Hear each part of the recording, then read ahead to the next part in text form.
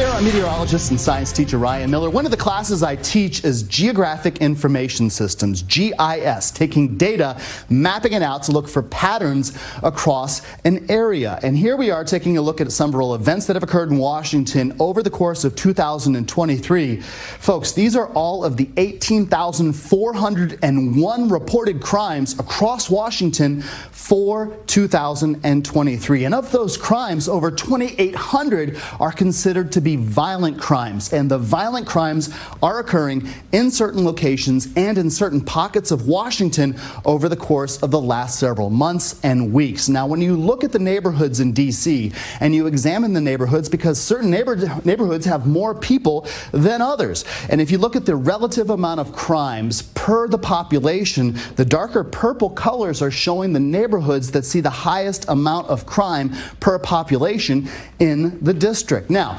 let's examine a couple of different phenomena. Not only are there different areas in Washington experiencing different amount of crimes, there is an environmental difference across Washington. Lots of trees and tree canopy and tree coverage across properties and the darker green colors on the map of Washington showing us the neighborhoods with the highest amount of tree coverage.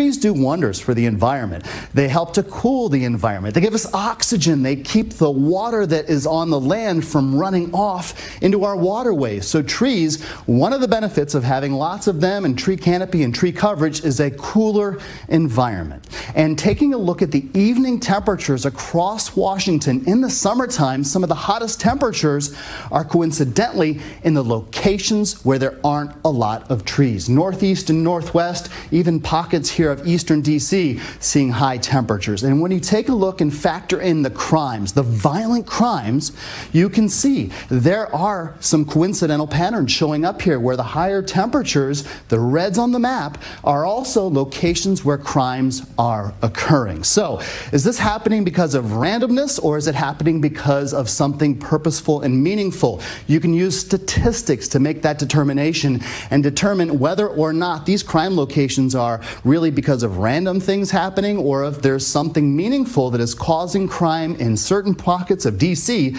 to occur. And that's why we have hotspots showing up. So this is an area. We see Bloomingdale, U Street, you can see Logan Circle and Shaw. These are pockets of DC that are not only the hottest and have the fewest trees, but they are statistically seeing more crime. So there's a potential and a link here between the amount of crimes that we have in Washington and the locations they're occurring relative to the environment, relative to the conditions, socioeconomic conditions in those areas here, and that's how you can use GIS to make these examinations and determinations of whether or not there are things we can do as a society to improve the conditions for all in DC.